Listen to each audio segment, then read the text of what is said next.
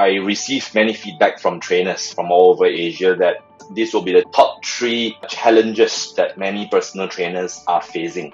So the first one will be they say that it is very difficult to get clients to start. Number two, initially they will tell you, oh, I, I'm interested to lose weight. But if you see after two weeks, two months, three months, they drop off. The third issue here, after doing a two or three months, they tried all sorts of diets, all sorts of training with their clients, but they don't see results.